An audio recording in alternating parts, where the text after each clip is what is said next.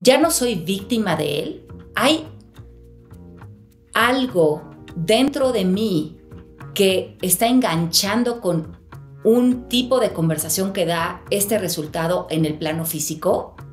Y ahí eso me puede llevar a no justificar los actos del otro, pero ver mi participación, no desde la culpa, sino desde la responsabilidad, de, como bien decías hace un rato, de conocerme y de ella también ponerme en una posición de, ah, ah, ahora me conozco y puedo plantearme una nueva conversación que me lleve a resonar con otro tipo de relaciones en el exterior.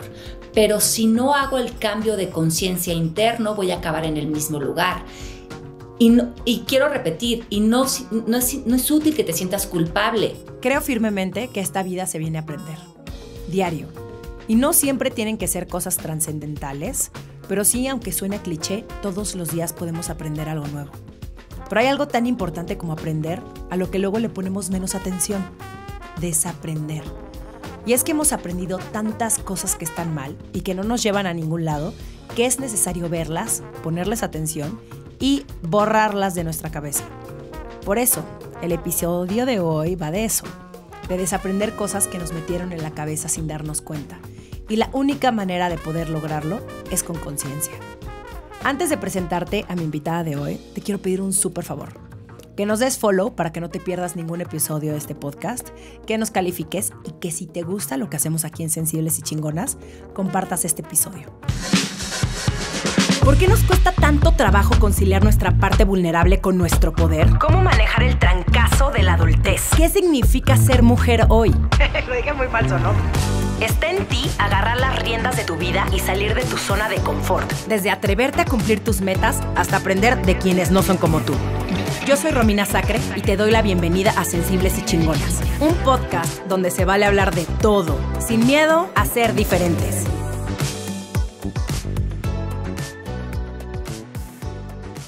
Mi invitada de hoy me emociona muchísimo porque llevaba ya un buen rato queriendo platicar con ella. Es nada más y nada menos que Alejandra Llamas, autora de varios bestsellers como El arte de conocerte, El arte de la pareja y su libro más reciente, Conciencia. Tiene además un podcast llamado Calíbrate, es columnista y creadora del proceso MMK.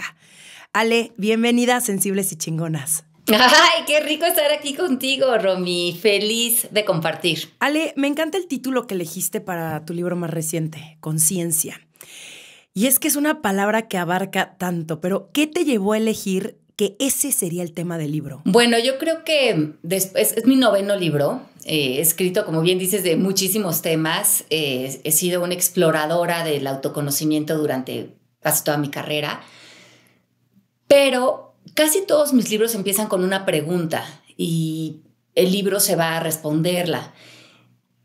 La pregunta para este libro era cómo se vive una vida completamente consciente y si un ser humano en el planeta la ha vivido, qué aprendió o qué desaprendió, cómo se experimenta en una mente completamente libre de, la programación, de sistemas de creencias.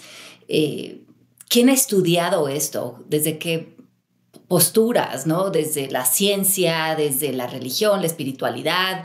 Eh, la conciencia existe a pesar de que creamos en ella o no, es la respuesta a la libertad del ser humano desde todos los puntos de vista, eh, te digo, incluyendo la ciencia. Eh, y, eso estaba rondando mi mente y dije, bueno, creo que eso se puede volver un libro y es, es el resultado de este libro de conciencia. ¿Y cómo ves la conciencia colectiva? ¿Somos como sociedad más conscientes que antes o de plano ya nos está llevando la fregada. Porque en mi opinión, esto es una percepción, claramente no tengo todas las respuestas, esto es únicamente una opinión y una percepción personal que está muy polarizado todo en este momento. Bueno, a veces nos damos cuenta que para que algo nuevo surja, debemos permitir una crisis, tanto en nuestra vida personal como en nuestro mundo colectivo. Y es permitir que todo se, de alguna manera, se se desborde, es esta ley del caos, reconociendo que a pesar de, como bien dices, de que yo percibo un caos, percibo que a lo mejor todo eh, se está yendo a la fruta, el universo es un universo que actúa en una evolución constante a un orden que aunque no lo vean nuestros ojos físicos, está sucediendo en todo momento. Pero para reordenarnos en posturas mucho más funcionales o en eh, reacomodarnos en nuestro interior, en lo que es posible, tanto como humanidad como para el planeta, hay que deshacer lo que ya está construido y aparentemente no funciona ya. Y, entonces creo que una buena o esperanzadora eh, manera de percibir es que más allá de lo que yo puedo ver, el universo actúa en un orden. Entonces nos tiene que desordenar para reordenarnos. Da qué fuerte lo que dices, porque sí, para que algo nuevo surja debe de haber una crisis. Y a mí me sucedió en el momento en el que yo decidí ir a terapia hace 10 años yo no sabía qué iba y yo no sabía qué esperar. Y probablemente esa fue una excelente actitud ante algo nuevo porque cuando ya tienes muchas expectativas o como sabes a lo que vas, es muy probable que te entren como muchas más dudas o muchos más miedos. Y yo llegué ahí con, ahora sí que pidiéndole ayuda a mi terapeuta, diciéndole, no tengo idea qué está pasando con mi vida, no soy feliz. Pero justamente yo estaba pasando ya una crisis que tal vez ni siquiera la había hecho consciente, porque hay muchas personas que van por la vida así como como en blanco, porque creen, ¿no? Y, volviendo a lo que mencionabas de las creencias y del programa, creen que así es la vida o que ese nivel de caos es lo que, pues, es lo normal, ¿no? En ellos. Entonces, ¿cómo una persona puede empezar a, a crear conciencia si no es a través de la terapia, por ejemplo? Creo que creamos conciencia cuando estamos, como bien dices, a lo mejor lugar en donde estabas tú, hartos de los resultados que estamos dando, cuando nos damos cuenta que ya señalar, culpar, eh, quejarnos, pues ya no nos está dando el resultado óptimo para un alcance importante con nuestra vida, o a lo mejor ya estamos aburridos de nuestro sufrimiento y de nuestras depresiones, ¿no? A mí me pasó. Yo ya me aburrí de mí y de mis historias y de mi pasado y de verdad voy a seguir en estas letanías y Creo que para esto tiene que existir cierta dosis de voluntad, una voluntad interior de querer soltar. ser consciente es, no es sumar algo, es en todos, para cualquier evolución de conciencia estamos dejando ir un obstáculo. Y este obstáculo de manera personal puede ser una historia, un resentimiento, un pensamiento, una idea de que así tienen que ser las cosas, una una historia de que tengo la razón y ah, seguramente desde un punto de vista moral y social la tienes, pero eso es lo que no te está permitiendo ser consciente y eso es muy importante reconocerlo, que la conciencia no está de la mano de la razón, está de la mano de la libertad. Y cuando reconocemos eso, el ego se pone muy nervioso porque el ego ha vivido generando una identidad de que nosotros somos nuestra historia, nuestro pasado, este cuerpo, nuestros miedos, lo que me hicieron, lo que me pasó, lo que no puedo controlar, mi queja, el país donde vivo, mis papás, mi pasado, y ahí justifico una identidad falsa que, como bien dices, se ha vuelto transparente para mí, no la veo, no soy consciente de otras posibilidades y siento que si suelto todo esto me voy a quedar en el limbo. Entonces, ¿quién soy? ¡Qué nervios! Me vuelvo a agarrar del personaje que he creado de mí y sigo esa, esa vida muy robotizada porque creo de alguna manera loca que me da seguridad. Y es fuertísimo, es fuertísimo todo lo que acabas de decir porque vamos acumulando una serie de, como que vamos como metiendo, ¿no? A nuestra mochilita, ¿no? Es que soy la simpática, es que soy la salvadora, es que soy la buena hija, es que soy em, la que depende de su pareja o la que se identifica a través de su pareja, soy la que eh, no sabe hacer muchas cosas, la miedosa, la insegura. Y, y al final es, ¿realmente eres esa persona? O sea, a mí me pasó en, en el momento en el que fui a terapia y empecé a verme, fue dolorosísimo. Y dije, claro, por eso la gente no quiere no pasar por este proceso, porque duele un chingo y duele todo el tiempo. Y es más, cuando ya te quitas los lentes de la ilusión, ya no hay camino, ya no, ya no te puedes hacer güey. O sea, ya no puedes dar tres pasitos para atrás, porque entonces, ¿no? Y que esa es la belleza de la conciencia, empiezas a ver cosas que ya no te funcionan, que ya no van contigo y que dices, yo ya no quiero regresar a lo que era, porque sí es vivir una vida cargando cosas todo el tiempo. Y me encanta lo que dices, que la conciencia está, está del lado de la libertad porque es así como yo me siento hoy y es como eh, lo que siempre andamos repitiendo en este podcast, ¿no? El date la oportunidad de conocerte, porque es el primer paso para cambiar, es el primer paso para desaprender, que es justamente el tema del que vamos a hablar hoy. Eh, porque sí, para aprender cosas necesitamos desaprender muchas otras. Entonces, además de las que ya mencionamos, Ale, ¿cuáles son las principales creencias que debemos desaprender para tener una vida más consciente? Bueno, tres creencias que creo que son importantísimas de identificar en nosotros, que son las que anclan el sistema de creencias que llamamos ego, que simplemente es un sistema de creencias en el que muchos de nosotros fuimos eh, como arrojados a esa conversación que volvimos nuestra, son eh, no soy importante, no soy suficiente, hay algo malo conmigo, equivocarme y cometer errores es malo, ¿no? Puedo hacer el ridículo.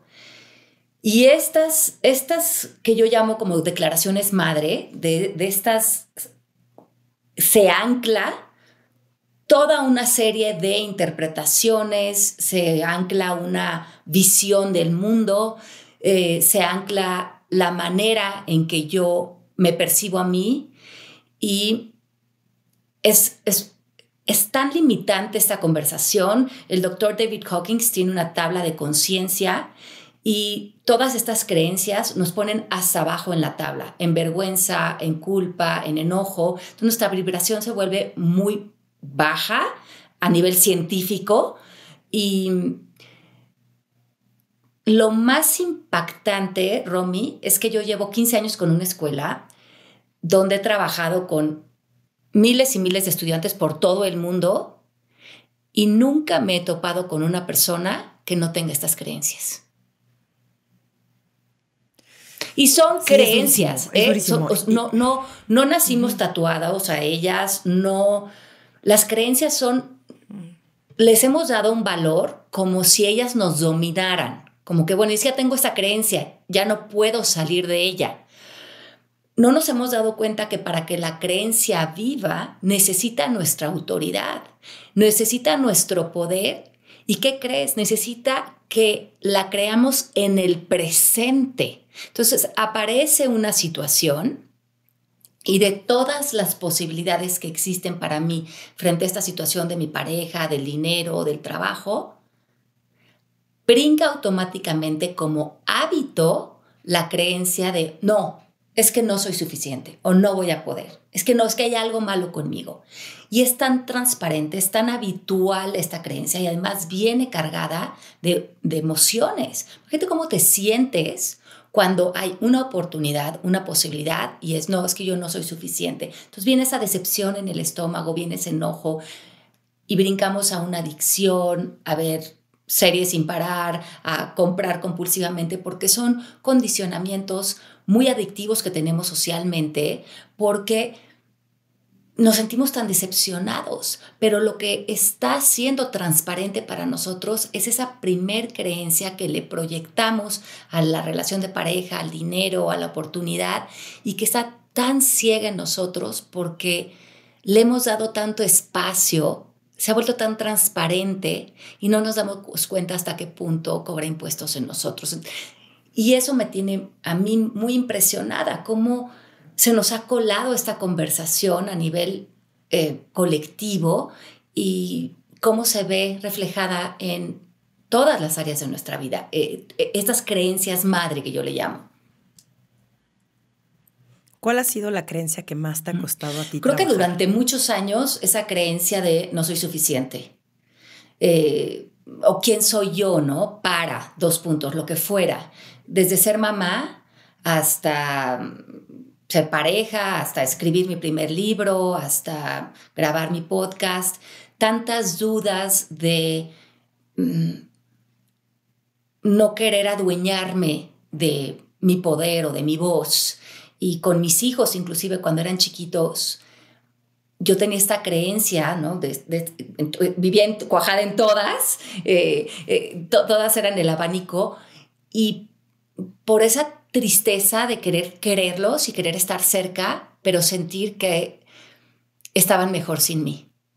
Como que mis hijos, eh, yo me sentía tan descompuesta por dentro que sentía que simplemente acercarme a ellos les hacía daño. Y, y eran puras creencias, porque al mismo tiempo yo los quería amar y me quería acercar. Y, cuando trabajé todo esto en mí, me di cuenta como si yo no lo hubiera deshecho, hubiera tenido hoy en día, por ejemplo, una relación tan diferente como la que tengo con ellos, que ya tienen 19 y 20 años. Eh, porque yo no me hubiera permitido amarlos. ¿Hasta qué punto estas creencias te, te fracturan? Porque no te sientes merecedora de tus hijos, en ese caso, ¿no? Hablando de los niños, que, que ya, pues, ¿cómo no vas a merecer a tus hijos, ¿no? ¿Hasta qué punto nos, nosotras mismas o nosotros mismos nos vamos cortando las alas de lo más importante, que en este caso es que sería, que sería la conexión con el amor, el amor hacia un hijo, el amor hacia una pareja, el amor hacia tu trabajo, el amor hacia una amiga, porque estas creencias nos hacen que nos aislemos. Sí, es durísimo vivir así. A mí me pasó, yo llevo cuatro años con mi novio y siempre digo que el primer año fue horrible. no fue horrible que hay, horrible entre él y yo, horrible conmigo misma, porque me confronté a un montón de, justo de mis creencias, de mm, que sí puede haber alguien que me quiera, que sí hay alguien que quiera ser mi compañero, que sí hay alguien que quiera construir conmigo, que sí hay alguien que, que sí soy merecedora de ese amor. Y está muy perro porque creo que la mayoría nos terminamos saboteando. Y eso era lo que yo hacía en todas mis relaciones pasadas. Terminaba antes de que ya empezaba a haber pedos en la relación, sobre todo porque yo también entraba a relaciones ni siquiera sabiendo, uno, quién era yo y dos, ni siquiera sabiendo qué esperaba, de, ni siquiera diciéndole al otro qué quería de esa relación. Eh, y entonces terminaba huyendo, terminaba saliendo y siempre un, claro, nadie es suficiente para mí, este, yo nunca voy a tener el amor, este, y, nos empezamos a, a, comparar estos cuentos, porque nos han dicho, ¿no? Como no se puede tener todo en la vida, ¿no? Esa es otra creencia, ¿no? El, no, no, no, eres exitosa en tu trabajo, pero no puedes ser exitosa en el amor, ¿no? Como que tienes que elegir todo el tiempo entre una cosa y otra. Y en el momento en el que yo estoy con mi novio, que es un tipazo, que aparte es el más amoroso, el más cariñoso, que realmente quiere estar conmigo, yo estaba aterrada, pero aterrada de que la pasaba todo el tiempo mal. Y celos, o sea, que muchas veces también se, se los expresé, porque eso es algo importantísimo. No nos tenemos que quedar con lo que sentimos, tenemos que expresarlo, porque me imagino que ha de haber muchas otras mujeres que han de haber pasado por lo mismo que tú, Ale, con este mismo sentimiento de que no merecen a sus hijos, pero el simple hecho de decirlo se sienten peor. No como de, tengo estos pensamientos y, no, no, no, mejor los callo, mejor los guardo. Y, hasta qué punto uno pues explota, porque tarde o temprano va a salir a la mínima provocación. Entonces, no hay necesidad de quedarnos con absolutamente nada pero muy pocas personas tienen esa, esa capacidad, ¿no? Digo, obviamente tú estás súper trabajada, pero hay pocas personas que tienen esa capacidad de verlo, identificarlo y expresarlo de la forma en la que ella Y lo que dices es muy importante, porque cuando haces consciente lo inconsciente, ya no tiene tanto peso. Cuando estás, cuando estás viviéndolo, sintiéndolo, ay, lo ves muy dramático, muy triste, te sientes muy inadecuado, pero cuando lo haces consciente, cuando dices de, qué creencia estaré partiendo y al rato lo ves simplemente como una conversación colectiva a la que te pegaste entre el sentido del humor y dices, claro, no pasa nada, no me tengo que tomar la vida tan en serio, no me tengo que tomar la, la maternidad tan en serio, no me tengo que tomar a mi pareja tan en serio. y es lo que dices. y es cuando lo empiezas a hablar. Yo loca ya. Yo así vieja loca histérica y que, ¿por qué estás hablando con tu exnovia? Y es como, es que trabajo con ella. Y yo, no, eh, no, espérate. Exacto, ¿no? Cuando ya lo sacas, sí, le puedes dar la vuelta y decir, ay, claro, me pegué a esta historia que estaba rarísima pero cuando puedes darte cuenta que tú no eres la historia, pero que esta historia está tan albergada en una conversación tan transparente que ¿por qué no te pegarías a ella si ni siquiera la vemos? Si la vemos en, Netflix, la vemos en el canal de las estrellas, hemos nacido impregnados por estas conversaciones que no nos acordamos cuándo las acordamos, pero cuando les dijimos que sí, se volvieron verdades para nosotros y hoy operamos frente a ellas. Y después decimos, bueno, a ver, ¿de dónde salió esto? Pues claro, de las telenovelas que vi de chiquita, de ¿y por qué no lo pensaría así? ¿Por qué no me volvería la mamá sufrida de las películas de Pedro Infante? Pues está en el colectivo. Déjame, déjame, pero te vas a arrepentir. Y ¿no? Es como un drama ahí, eh, amor, odio, este, pégame, pero no me dejes, pero la otra es mi enemiga, pero el amor lo va a poder todo, pero tengo que cambiar quién soy para que el otro me acepte. O sea, toda esa narrativa, esa narrativa de las telenovelas y de las películas de Disney afortunadamente no las actuales, porque ya hicieron, hacen muy buena chamba, pero las pasadas, sí. ¿qué pedo? O sea, yo siempre digo, el problema es que hemos absorbido y ahora sí que hemos mamado, ¿no? Todas esas historias y toda esa narrativa. Uno, mega machista, ¿no? Tú, creada por el patriarcado, pero machista em, que nos han quitado también a las mujeres nuestro poder de de expresarnos, de sentir, de decir, güey, no estoy loca y no estoy histérica y no estoy exagerando y lo que estoy sintiendo es válido, pero también nos hemos vuelto expertas en, en minimizarlo todo, ¿no? En decir, no, no le, le bajo cuatro rayitas. En tu experiencia, ¿cómo ha sido? ¿Crees que las mujeres están mucho más abiertas a hablar de estos temas o también les está costando más trabajo o los hombres también de pronto dices, qué bueno, porque ya se están bien también aquí pidiendo ayuda que también les cuesta más trabajo? ¿Cómo es? ¿Cómo lo has visto tú? Creo que, creo que las mujeres tendemos a vernos mucho a nosotras mismas y a otras como objetos, ¿no? Culturalmente. Y como un objeto que tiene que funcionar. Nos deshumanizamos a nosotras mismas. Entonces hacemos de nosotros un objeto de la mamá perfecta, de la atractiva perfecta, de la multitasker perfecta, cuando nos metemos en estas cajas de exigencia en cualquier rol que estemos haciendo, ya no nos vemos con, con compasión, con entendimiento, con eh, ternura, dejamos de abrazarnos. Eh, siempre hay algo que podríamos hacer mejor, nos reclamamos, no le damos ningún crédito a lo que sí hacemos. Y cuando entramos en esa conversación, empiezan a cobrar eh, mucho más volumen estas creencias de hay algo malo conmigo, podría hacer las cosas mejor, podría ser mejor mamá, podría ser mejor esposa, podría tener mejor cuerpo, podría enflacar más, podría verme más joven, podría, podría, podría, podría, y estamos constantemente en un lugar tan doloroso en el que nos ponemos inconscientemente que estamos por otro lado creando esta otra vertiente de quién me salva de esta conversación que no veo y que me lastima. Y creemos que va a ser, como bien dices, una pareja, un trabajo, un éxito, un reconocimiento, una operación, una, un aplauso de alguien. Y eso es una trampa en la que caemos mucho con la pareja, ¿no? Cuando yo no me siento suficiente, cuando no me siento suficientemente atractiva, inteligente, eh, cuando creo que todo está mal conmigo, cuando no puedo creer que esta persona esté enamorada de mí porque yo no me he podido enamorar de mí, la pareja o el trabajo o lo que esté allá afuera se vuelve también un objeto para nosotros, el objeto que nos va a rescatar de nosotras mismas.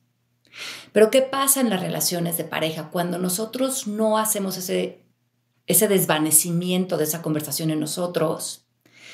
La pareja, el trabajo, la operación, lo, que estemos pensando que nos va a salvar a nosotros de nosotras, se vuelve una decepción más. Porque al paso del tiempo, cuando se ve el enamoramiento, cuando se va el efecto de la pócima mágica. Sí, las mariposas en el estómago y la emoción de los fuegos artificiales. Ah, no, mala señal, amiga. mala señal. Acaba, sí, ¿dónde crees que aterrizas? En tu misma conversación hay algo malo conmigo, no me rescataste. Esa promesa con la que yo creía que venía eso del exterior no ha sido el bálsamo que me ha distraído o me ha sacado de mí misma, de este lugar doloroso en el que yo vivo.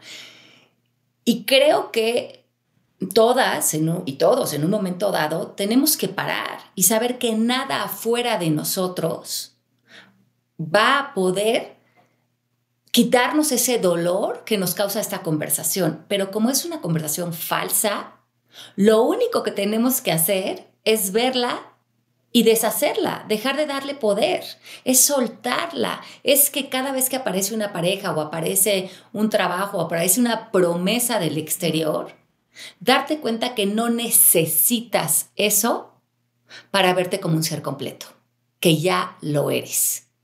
Y conforme practicas esto, conforme practicas, yo no necesito que tú cambies, yo no necesito que tú me reconozcas, yo no necesito ese trabajo, yo no necesito que tú me veas atractiva, yo no necesito que tú me consideres inteligente, yo no lo necesito porque no soy alguien ni siquiera calificable, soy un ser humano que en un estado más profundo ya soy un ser completo.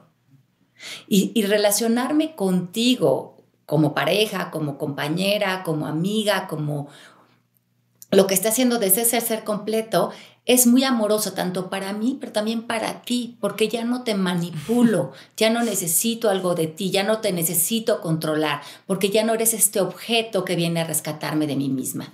Sí, no, me, me, reí tantito nerviosamente porque claramente yo era así, era manipulador, sí, sí, sí, sí, sí, sí, sí, súper tóxica también, pero y tenía puras relaciones tóxicas, pero es, mana, ¿yo qué estaba haciendo? O sea, no era yo que era aquí la persona con más claridad y más conciencia, era, me metía, somos espejos, pero sí creo, Ale, que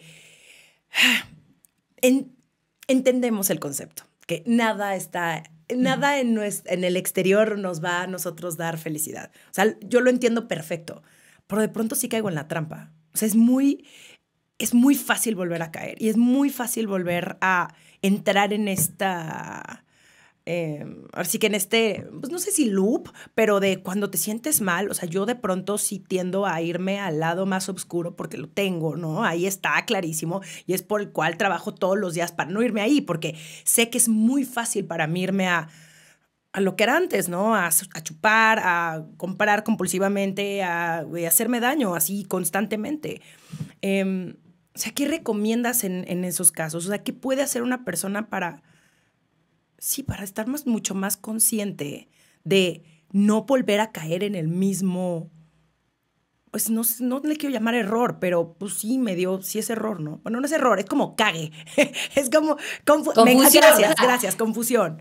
Mira, a mí lo que me ha funcionado es darme cuenta que siempre estoy a un pensamiento o a una creencia de la libertad. O mi mente está libre o mi mente está pegada a, algo que estoy creyendo o pensando, que como bien dices, me está llevando a una incomodidad, a una confusión, a un miedo, a ponerme a la defensiva. Y creo que aquí hay algo, Romy, importante. Primeramente te tienes que preguntar si estás acostumbrada a sentirte estresada, enojada, culpando, eh, porque creo que hemos habituado el vivir así. Ya se nos hace lo normal.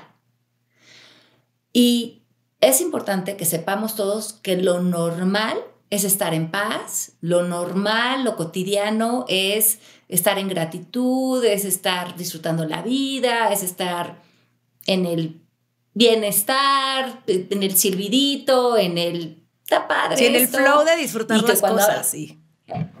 En el flow, y no se los digo aquí muy elevado, Tú imagínate a alguien que está feliz cocinando, alguien feliz que está cosechando sus viñedos o, sus, o su maíz y que están silbando y es un día más. están en conexión con lo cotidiano. Estamos ahí. No estoy perdida en las pesadillas mentales. Mi mente está alineada con lo que está frente a mí y no necesito ni quiero algo diferente, porque eso ya es la locura mental. Cuando yo estoy en comunión con lo que estoy haciendo, con lo cotidiano, con lo ordinario, cuando estoy presente, que lo hemos oído mil veces, la vida se vuelve muy fácil, se vuelve súper sencilla.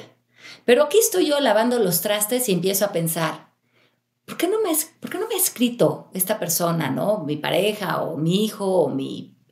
¿Qué será? O ya no van a dar ese trabajo, hijo, ¿con qué voy a pagar la tarjeta de crédito? No, y ya ayer firmé, no sé qué. Y de ahí te vas a una historia que acabas, como tú dices, chupando, comprando, porque es ya la ansiedad, es, es meternos en todo un mecanismo de comportamientos también. Cuando yo me doy cuenta que estoy ahí, algo que a mí me funciona mucho es vivir con esta idea de no necesito nada más que estar en comunión con este momento.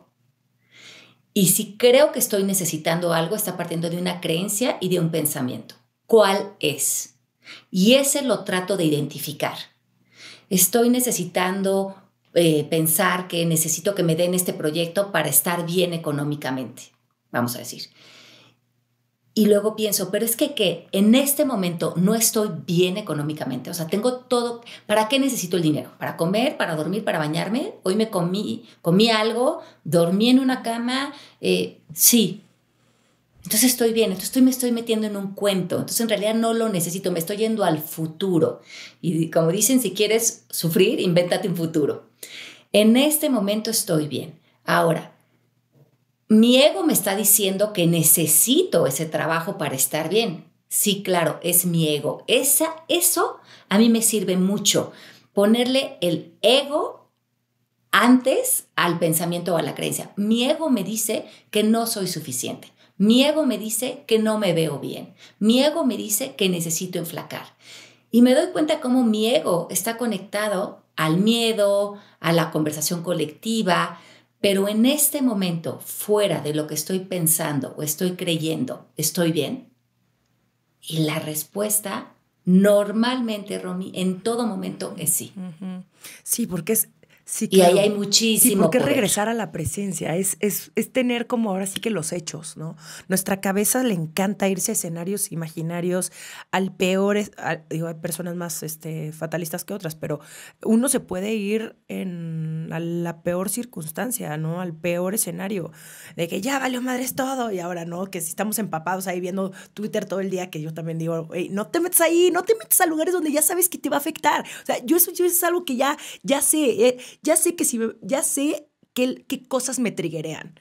Entonces, mejor mm, no las hago, ¿no? Y mejor eh, regreso así, aunque sean cinco minutitos, ¿no? De pronto así de voy a respirar y voy a agradecer y voy a, em, a calmarme, a hacer algo, a hacer ejercicio, a tomarme un tecito, o sea, algo que, que impida un poco estos pensamientos, eh, ahora sí que compulsivos, porque sí, sí es, sí es muy fácil entrar ahí, pero me encanta él, cuando estoy en presencia la vida es más fácil, mucho más, pero ¿cuánto se nos olvida? Esa frase yo creo que la voy a poner aquí en mi oficina, nada más como para tenerla acá, que entra en mi oficina, voy a decir, Ale Llamas dice esto y yo la tengo que seguir.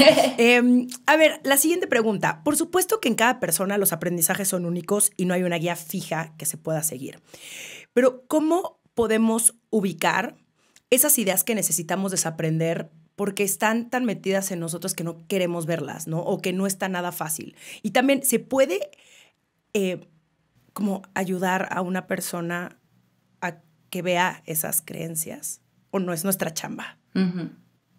Ok. Bueno, no, no podemos ayudar a nadie, porque eh, justamente como para ti es un punto ciego, para esa persona también.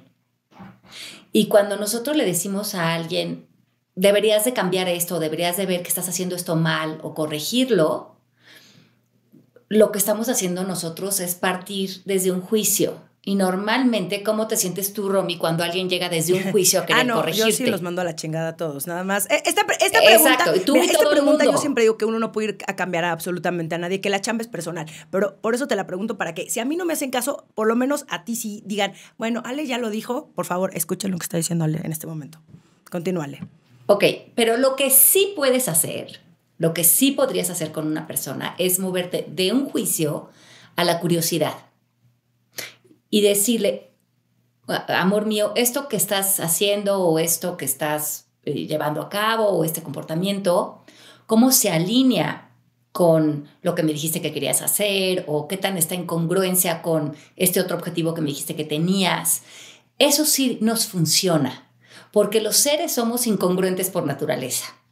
y que alguien que nos está observando de fuera con mucho amor, desde la curiosidad, no desde el juicio, no de, mira, si tú lo quieres seguir haciendo, super perfect, pero yo te estoy viendo de fuera y nada más por crear un poco de insight, cuéntame, cómo cuando tú vives eso, cuando tú haces esto, te funciona, te sirve, te lleva donde tú quieres estar, cuéntame. Pero es, no es que lo quiero que tú lo cambies, es que quiero conocerte, quiero, quiero estar adentro de ti, quiero ver desde dónde estás partiendo. Y esto es muy amoroso, porque esto conecta, lo otro desconecta. Estoy pensando, estoy pensando lo que voy a decir, pero sí, el partir de la curiosidad, el partir de la pregunta, porque al final mi terapeuta tiene una frase buenísima que es, nada es malo, solo hay que asumirlo y que obviamente uno no puede ir por la vida tratando de cambiar a la otra persona, ni juzgándolos, ni diciéndoles lo que está bien, ni lo que está mal, pero justo en el momento en el que le preguntas a alguien, viene más de cómo yo me puedo relacionar contigo, ¿no? A través de cómo tú ves la vida prácticamente, ¿no? Y cómo ves ciertas cosas. Y uno también puede decidir, bueno, si a ti esto te da placer, si te, estás haciendo daño, pero te da placer, ¿no? Por ejemplo, que mi amiga esté en una relación donde se la madrean, ¿no? Eh, que obviamente uno puede cuestionarle a su amiga como de por qué no cortas con esa persona o por qué no te divorcias de ese ser humano, pero tal vez ella te dé una explicación que en tu cabeza, pues obviamente violencia es este no negociable, va y este lo quiero denunciar, etcétera, pero a lo mejor para ella es su interpretación de amor. Y entonces, ahí es como puedes ser más empática. Por lo menos tratar como sí de entender, ¿no? Porque en las relaciones va a haber resonancia. Si, si él es agresivo, ella está viviendo en una conversación donde resuena con esa relación. Por lo que sería importante entender que a lo mejor dentro de ella hay todas estas creencias de no merezco, no soy importante y por algo entonces no pone límites y no se sale de esa relación porque hay una conversación que a lo mejor no está formulada en voz fuerte, pero que está haciendo eco, está resonando con la actitud de él. Por eso sería más importante que le digamos a esta persona, ¿qué te podrías estar diciendo en tu interior? ¿En qué creencias crees que vives que resuenas con este tipo de relaciones? Que haces eco con este tipo de relaciones. Y eso es muy útil porque no le estás diciendo suéltalo, porque probablemente no lo puedes soltar porque está en resonancia. ¿Y qué crees? Si termina con este novio, va a estar con otro similar. Sí, porque no ha aprendido, porque, no ha roto esa creencia, porque no la ha visto. No ha roto el gancho que la engancha. Y el gancho que la engancha para ella es inconsciente. Por eso es que la curiosidad abre la posibilidad de que ella diga, ¿cómo? Ya no soy víctima de él, hay algo dentro de mí que está enganchando con un tipo de conversación que da este resultado en el plano físico. Y ahí eso me puede llevar a no justificar los actos del otro, pero ver mi participación, no desde la culpa, sino desde la responsabilidad, de, como bien decías hace un rato, de conocerme y de ella también ponerme en una posición de, ah, ah, ahora me conozco y puedo plantearme una nueva conversación que me lleve a resonar con otro tipo de relaciones en el exterior. Pero si no hago el cambio de conciencia interno, voy a acabar en el mismo lugar. Y, y, quiero repetir, y no, no, es, no, es, útil que te sientas culpable, porque esa conversación que te tiene enganchada, en, a lo mejor en dinámicas no funcionales, tú no accediste a ella de manera voluntaria, pero sí tienes la oportunidad ahorita de verla y deshacerla. Sí, qué fuerte. ¿Cómo, cómo repetimos patrones inconscientemente, no? Pero porque ahí están, son parte de nuestro programa y es parte de lo, que traemos dentro y está, es, durísimo, es durísimo, porque ahí es cuando uno, y es parte también de este camino de la conciencia que nunca dejas de aprender. Y cuando crees que ya te sientes, ya, no, estoy lista, ya me siento toda madre, no sé qué, o llega la vida a ponerte otra cosita ahí que no habías visto, ¿no? De, eh, ahí te va tu hermana, eh, ahí te va tu mamá, ahí te va tu... Y dices, ¿qué pido? ¿Qué está pasando? ¿Cómo no había visto esto?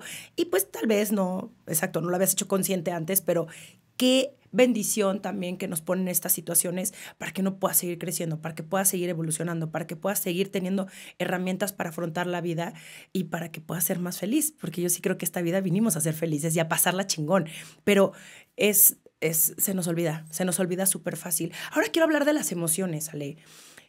¿Qué papel juegan las emociones en una vida más consciente? Mira, las emociones son muy importantes porque las emociones son el pegamento a lo que creemos que es real. Y eh, están muy afianzando mucho toda esta información de la que estamos hablando. Información me refiero a creencias, a pensamientos, a declaraciones que hemos hecho, a toda la conversación cultural y social. Se pega a nosotros a través de emociones. Por eso es que no la soltamos, porque si fuera nada más intelectualizarla y ver la creencia, y pues ya, por lógica la suelto. ¿Por qué no voy a soltar una creencia de no soy suficiente si ya me di cuenta que no me funciona? Intelectualmente lo puedo, lo entiendo, pero ¿por qué cuando viene la siguiente, eh, como tú dices, cortas con una relación o, o una situación o la mamá o la hermana, ¿por qué brinca otra vez? Por la emoción. La emoción es lo que hace que no nos despeguemos de eh, dinámicas o de narrativas que obviamente no somos tontos, vemos que no nos funcionan, pero ahí estamos pegados. Y hay algo aquí que es bien importante mencionar, las lealtades familiares o sociales que tenemos, mm. porque el ser humano tiene una gran necesidad desde el punto de vista hasta reptiliano de sobrevivir en su entorno. Y cuando yo he vivido en un entorno donde mi mamá, mi hermana, mi cultura, la mujer, tienen un tipo de conversación a lo mejor de queja, de enojo, de falta, de carencia, de hablamos mal de los hombres. O sea, en la tribu, ¿de qué se habla en tu tribu? De amigas, de familia. ¿Qué es permitido en tu tribu? ¿Cuánto dinero se permite tener en tu tribu? ¿Cuánta fama se permite tener en tu tribu? Que ya es peligroso. ¿Qué, qué podrías hacer en tu, en tu tribu que la tribu ya te vería como, ¿y esta quién se cree? ¿A dónde va? Ah, ahora resulta que ella sí encontró un buen novio. Ja, ja, ja. Se le va a reventar en la cabeza. Muchas veces nosotros, con tal de que no nos expulse la tribu, porque hay una conexión emocional, inconscientemente terminamos esa relación, no crece, nos saboteamos inconscientemente o no crecemos económicamente porque nos queremos quedar en el parámetro de la tribu con tal de pertenecer. Porque si no, voy a llegar yo a la comida con mis amigas o a la comida familiar del domingo o voy a abrir Twitter y yo ya no estoy haciendo eco con la conversación colectiva y creo que me va a expulsar la tribu y que eso me va a llevar a mi exterminación. Y eso actúa emocionalmente como un gran pegamento a que no nos despeguemos de... Em, de lo que puede ser nuestra vida, que serían infinitas posibilidades. creo que si no hacemos consciente lo emocional, finalmente la emoción gana. La emoción gana. Acabas complaciendo a la tribu, acabas terminando esa relación, acabas porque la culpa es tan grande, el miedo es tan grande que no ves que ese es el gran pegamento que no te deja despegar. Y si esto no lo haces consciente, que ya es como la capa más profunda, podrás tener muchísima conciencia intelectual, pero el pegamento está ahí. ¿Y cómo cortas con esos lazos? ¿Se puede? Pues al menos energéticamente, al menos energéticamente, ¿no? No, eh, mira, muchas veces te toca ser la oveja negra de la tribu, de la familia, y tu rol es vencer los miedos de la tribu, a pesar de que tú te sientas con las piernas templando o a lo mejor te dejan de hablar o a lo mejor eh, te expulsan por un tiempo, pero a lo mejor tu rol justamente es encaminar a la tribu a que vea algo diferente y que tú puedas vivir siendo ese ser disruptivo. Y para eso te tienes que preguntar si lo que quieres es complacer o si estás dispuesto a vivir en integridad de lo que tú crees que es valioso para ti y para la tribu, aunque la tribu te esté agarrando las piernas y pegando de gritos y o dejando de hablar, porque ese no es tu rol y tú adentro de ti lo sabes. Sabes que a ti te toca generar una nueva realidad para la tribu y que eso eh, a lo mejor es hasta doloroso o muy confrontativo para la tribu. Sí, es, es, es, este, es complejo siempre porque al final es tu familia, es eh, tu papá, tu mamá, tu hermana, eh, bueno, en mi caso, ¿no? Tus hermanos, eh, tus primos, tus amigas de toda la vida, que eso luego a mí me dicen como, pero es que ¿cómo? Si son mis amigas de toda la vida, estoy cambiando y ahora siento que ya no encajo. Y le digo, es, qué poca fe tienes de que crees que no vas a encontrar a otras nuevas amigas que estén alineadas con la nueva persona que eres, ¿no? ¿Cómo no confiamos en que estos cambios que hacemos son únicamente para bien? y que obvio toman tiempo y que son un proceso y que no todo tiene que ser de un día a otro, pero también se vale, ¿no? De pronto decir, ya me di cuenta, ya no quiero, güey, ya no quiero estar aquí escuchándote, papá, mamá. Y ese yo creo que también es la belleza de ser adulto, que uno puede elegir ya a quién quiere en su vida y a quién no. Y, y, y si alguien te hace daño, si alguien te hace menos, si alguien no te está sumando, si alguien eh, es nocivo para ti, porque hay muchas relaciones muy, muy, muy, muy destructivas y muy tóxicas, yo sí digo, pues, chao, ¿no? O sea, yo, yo, yo me he vuelto muy de hasta aquí llegamos. ya no te puedes meter más para acá.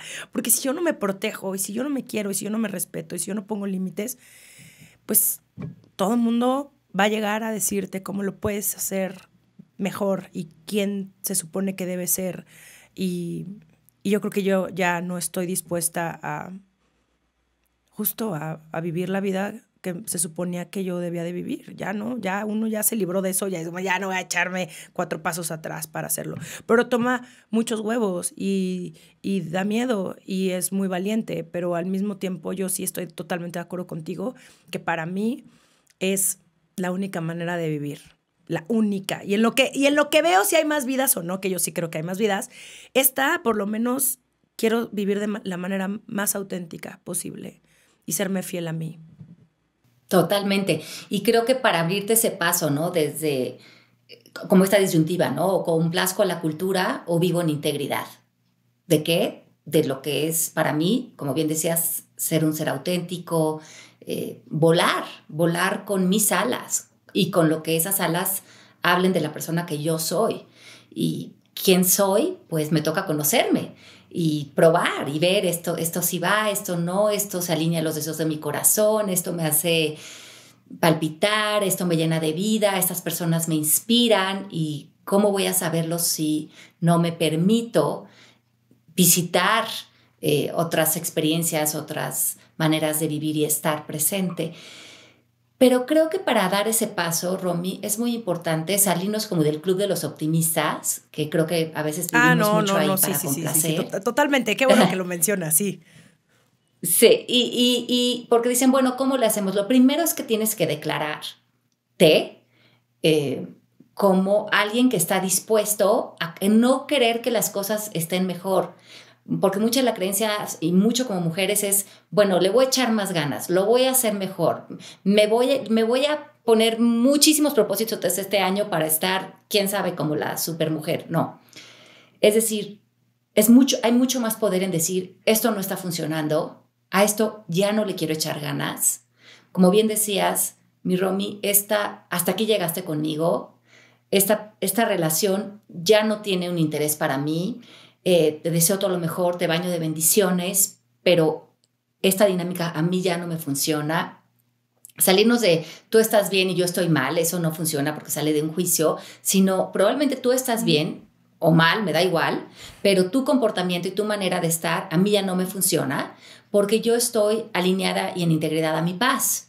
Y para que esa paz florezca, yo tengo el poder y la responsabilidad de diseñar mi vida Y el diseño no es desde un juicio, es desde algo ergonómico, funcional, bonito. Y ahora quiero que en ese diseño mi vida esté cargada a lo mejor de música, de cantos. A mí, por ejemplo, me encanta pintar, me encantan los interiores, me gusta escribir, me gusta... Y así está diseñada mi vida. Yo ahorita vivo en la nieve, vivo en Colorado. Yo digo, bueno, yo voy a hacer una vida que sea esa vida que yo me puedo dar. Y si a alguien le gusta cómo vivo o no le gusta o tiene un juicio de mi vida, pues es que no estoy tratando de complacer ni darle gusto a nadie. Y a lo mejor alguien diría, pero ¿cómo te vas a ir a vivir en medio de una montaña, en una cabaña, en la nieve? ¿De qué vas a vivir? Es que el universo me va a dar de qué vivir. O sea, no pasa nada. Pero es que esto es lo que ahorita me hace palpitar mi corazón. Entonces también vivir desde la confianza. Pero, ¿qué me llevó hasta este, esta vida que tengo hoy? Declarar muchas veces, esto no está funcionando, esto ya no lo quiero en mi vida, a esto ya no le voy a echar ganas, a esto le voy a poner límites y si no nos atrevemos a decir eso, entonces estamos eh, desparramándonos por todos lados. Sí, sí, el, el poder elegir lo que queremos todos los días para nosotras y para, para cada uno, ¿no? El, el, ese yo creo que es uno de los, en mi libro lo, lo menciono, eh, que uno de los poderes que yo considero más así, más cabrones que tenemos es el poder elegir qué quiero con mi vida, el poder de ser mejor todos los días, el poder decir, esto pensaba antes y ya no lo pienso así, ahora lo veo diferente. El sí era así hace 10 años, pero ¿qué crees? Ya tengo 36, ya pienso de un modo distinto, que nada está escrito en una piedra. Y esa yo creo que es la belleza que tenemos los seres humanos, que podemos cambiar de opinión, que podemos desaprender y echar así hacia la borda, ¿no? Todo lo que habíamos creído en algún momento y que no está mal, ¿no? También como que ahorita estamos como muy casados con la persona que dijo hace 10, eh, este Alejandra Llamas hace 10 años puso en Twitter esta cosa. Eh, ¿Qué, ¿Qué pedo? O sea, ¿por qué juzgamos tanto a las personas por lo que creían hace unos años? Qué bonito que estemos también en este momento de muchísima deconstrucción. O sea, creo que a mí me abruma de pronto el madres, ahora tengo que leer más sobre estos temas, porque lo que yo creía sobre ser mujer, hoy está cambiando tanto que hay todo el tiempo hay como nuevas cosas y qué rico porque esa es la vida y eso es como abrirte también a las nuevas posibilidades y no quedarte estancado en tal vez sí voy a juzgar un poquito a estas personas, ok, perdónale, perdón, pero, o sea, las personas que se quedaron en la prepa, o sea, hay mucha gente que, que veo y digo, neta, sigues pensando igual, que cuando íbamos en tercero de secundaria, güey, ¿qué has hecho los últimos años? Como, papá, evoluciona. Y no, y una vez más, no es que ellos estén mal, ni yo, es, ni yo me sienta la persona más superior del mundo. Bueno, de pronto sí me entra ese, ese sentimiento, pero bueno, es mi ego, es mi ego. Eh, el, el poder decir, ¿sabes qué? Eh, chance y tu conversación no me está sumando en absolutamente nada. Y también elegir con quién nos rodeamos, o sea, de quién nos rodeamos, porque eso también es importantísimo. Porque es delicioso tener a personas con las que, de las que puedas aprender, de las que puedas simplemente callarte y escuchar. Y que, y que no te quieran dar la razón en todo, ¿no? Que entren ah, desde la curiosidad contigo. Lo que decíamos hace rato, ¿no? Oye, Ale, esto, a ver, me dijiste que querías estabilidad económica y cómo se alinea eso con esta manera que estás gastando dinero o esta... Y entonces eso me, me sirve, ¿no? Ah, sí, ¿verdad? Como que no se alinea. ¿No? ¿De qué otra manera? Y eso es súper lindo a alguien que constantemente tú tengas esa necesidad de que te den la razón de tus historias, de tus cuentos, de tus sufrimientos, porque eh, eh, muchos de nosotros buscamos réplicas en vez de... Eh, encontrar conversaciones que nos abran y que nos expandan nuestra visión del mundo. Sí, que te cuestionen. Híjole, yo tengo unas amigas que digo, Jesús, o sea, ¿en qué momento tengo estas amigas que me confrontan de una manera muy amorosa, muy, muy amorosa, súper suavecito? Pero digo, holy fuck, o sea, no me he dado cuenta de esto. Claro, gracias. Porque esas personas son las que a mí me hacen mejor persona y, qué bonito tenerlas cerca. Ale, ya casi vamos a cerrar, pero ya nada más así para conclusión. Ya sé que hablamos de un montón de cosas y siento que, wow, este de verdad estoy con un montón de cosas en mi cabeza y yo creo que por eso van a decir, oh, Romina, ¿qué le pasó? Está más lenta que otros días, pero de verdad todo lo que me has dicho me ha, me ha puesto a reflexionar un montón y es muy probable que cuando vuelva a escuchar este podcast me van a volver a caer más veintes porque sí, sí estoy como absorbiendo mucho. Bueno, ya no me voy a pachequear, perdón. Eh, ya la última pregunta. ¿Qué herramientas podemos utilizar hoy, así, hoy mismo, para acercarnos a una vida más consciente? La herramienta más poderosa que puedes escuchar eh, dentro de ti eh, es generar como una voz paralela que te cuestione a ti mismo. Eso, eso que buscas de afuera, ¿no? Que seas estas amigas que me cuestionan, tenerla para ti y iniciar tus, tus argumentos o tus posturas con la palabra creo. Creo que hace que desenvolvamos la idea de la verdad absoluta, que nos confunde mucho. Desde mi percepción o desde mi creencia estoy viendo esto, pero ¿qué más sería posible? Cuando estamos muy inconscientes, en vez de cuestionar nuestra, nuestro diálogo, lo aseveramos.